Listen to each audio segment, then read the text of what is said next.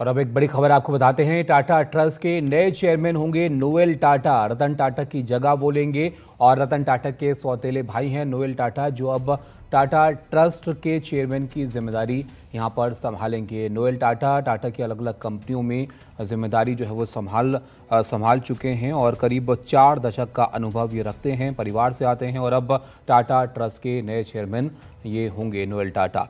विकास हमारे सहयोगी हमारे साथ जुड़ रहे हैं। विकास, नोएल टाटा रतन टाटा की ज़िम्मेदारी यहाँ पर संभालेंगे टाटा ट्रस्ट में। इनके अनुभव के बारे में ज़रा बताइए। जी, बिल्कुल Tabish.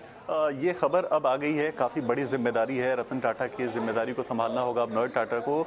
Noel Tata, Trent Tata investment, Voltas और इसके अलावा अगर आप देखें तो कई कंपनियाँ ऐसी हैं जो टाटा ग्रुप की बड़ी कंपनियाँ हैं, जिनमें अच्छे पोजीशन पे कई जगहों पे नॉन एग्जीक्यूटिव डायरेक्टर कई जगहों पे चेयरमैन के पोस्ट पे वो अपनी सेवाएँ दे चुके हैं। 40 साल से ज़्यादा लंबा अनुभव उनका है और जो उनको जानने वाले लोग हैं वो ये कहते हैं कि वो शांत रहते हैं, अपने प्लान्स को बनाते हैं और उसको एग्जीक्यूट करने में भरोसा रखते हैं, बहुत ज़्यादा अपने प्लान्स के बारे में बात नहीं करते। सो ये डेवलपमेंट जो आ रही है वो ये एक अच्छी डेवलपमेंट है जिसमें टाटा ट्रस्ट की मीटिंग हुई। टाटा ट्रस्ट की मीटिंग में ये फैसला किया गया कि नोएल टाटा अब टाटा ट्रस्ट के अगले चेयरमैन होंगे। और आपको ये बता दूँ बैकग्राउंड के लिए कि टाटा ट्रस्ट जो है वो बेसिकली वो ट्रस्ट है, वो एक अम्ब्रेला ट्रस्ट है जो चौदह ट्रस्ट को मैनेज करता है, टाटा ग्रुप से जुड़े हुए चौदह ट्रस्ट को। और इन सारे ट्रस्ट के पास मिलाकर कुल छियासठ परसेंट हिस्सेदारी है टाटा सन्स की।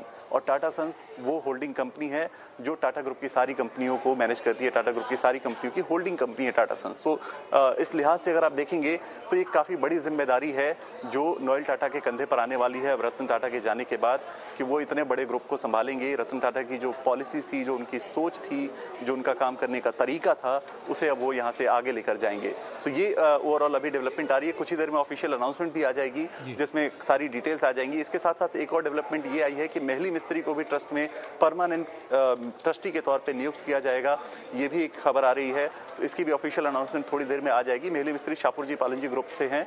शाहपुर जी पालन जी के पोते हैं और साइरस मिस्त्री के चचेरे भाई हैं। सो ये दो बड़ी खबरें आ रही हैं टाटा ग्रुप को लेकर, जो रतन टाटा के जाने के बाद जो सक्सेशन प्लान की बात हो रही थी, अब उस पर तस्वीर साफ़ होती हुई दिख रही है।